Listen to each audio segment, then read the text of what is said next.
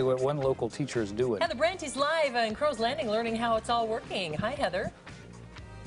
Good morning, you two. Let's take a poll back there at the station. Right. What was your favorite class in high school, middle school, or elementary school? Art class. Uh, I kind of liked. Uh, Was it math? Well, I didn't mind math. I didn't mind it. Didn't didn't offer thought- math in Alabama where I was. at. No, I'm just kidding.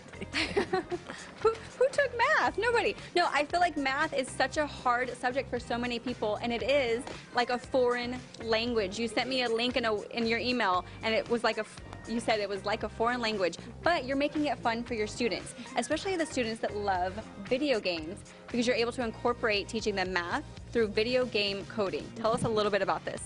So the video game coding makes the students actually want math, which is, you know, unique.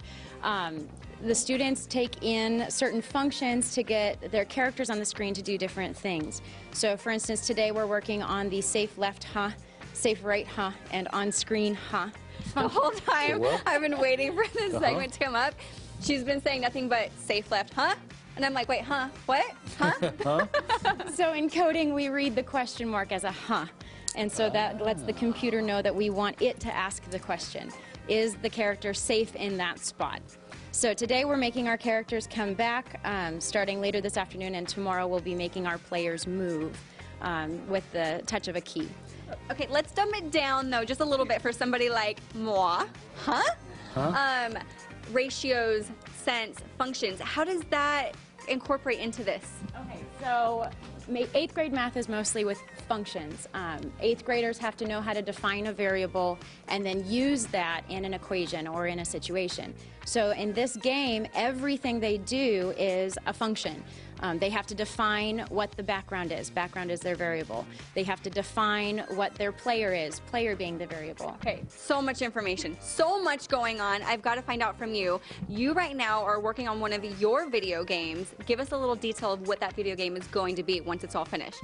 Well, me and my partner Noemi, we uh, we made our video game about Michael Jackson. Uh, Oh yeah, I'm liking this. He's trying to get a microphone, and he's being chased by paparazzi.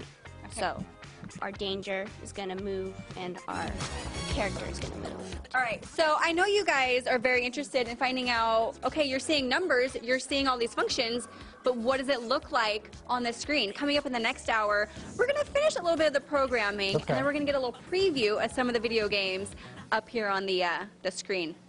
I'm very curious. I can't wait to see what they look like because they oh. haven't shown me yet either. Room full of smarty pantses. My mm-hmm. goodness. Thanks, Oh. Heather. All oh. right. Oh. Prom season is here, and a small nonprofit.